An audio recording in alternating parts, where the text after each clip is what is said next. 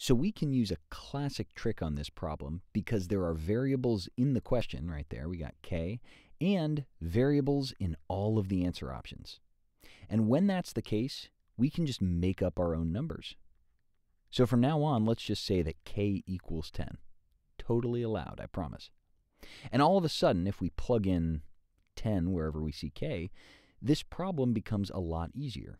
So let's take a look at it. A fruit drink contains 20 grams of water, 5 grams of sugar, and 10 grams of fruit syrup. What percent is fruit syrup?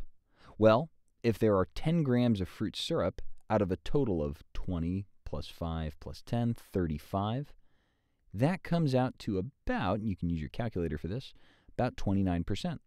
And so all we have to do now is plug 10 in wherever we see k in the answer options, and whichever answer option gives us 29, well, that's the winner.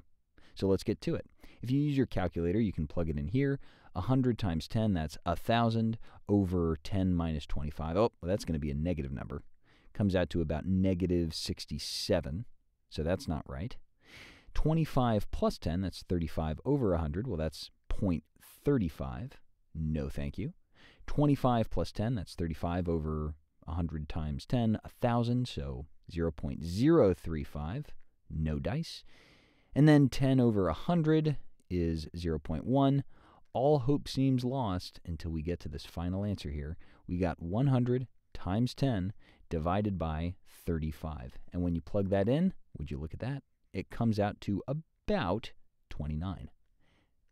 And for that reason, E is the correct answer.